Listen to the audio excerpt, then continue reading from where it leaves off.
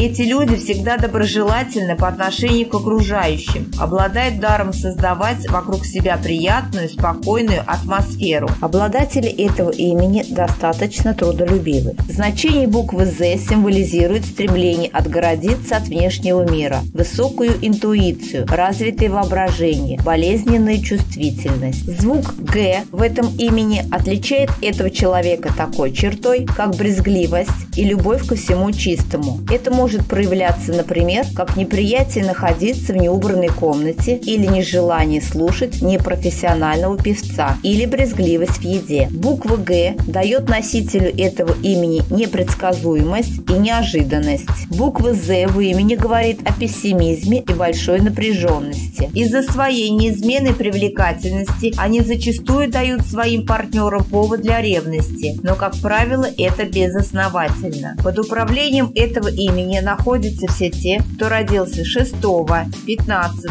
или 24 числа каждого месяца. Иногда эти люди чувствуют, что находятся под чьим-то пристальным вниманием. Звук «Г» у владельца этого имени не создает сложности восприятия имени, поэтому этот человек склонен зазнаваться. Основная буква «А» в этом имени хорошо сочетается с другими звуками и не создает сложности в произношении, поэтому у владельца не составит труда найти много друзей. Просто иногда им лень найти новых друзей, так как они уверены, что по первому щелчку могут собрать большую компанию. Негативные качества – тревога и беспокойство по пустякам. В тех именах, в которых встречается гласная буква «А», труд – их природная потребность. Но не любой труд, а лишь тот, который они самостоятельно выберут. Обладатели этого имени гостеприимны. Их дом всегда полон друзей и знакомых. Они очень хорошо относятся к детям и животным, склонны заботиться об окружающих. Из них получаются хорошие семьянины. Дорогой друг,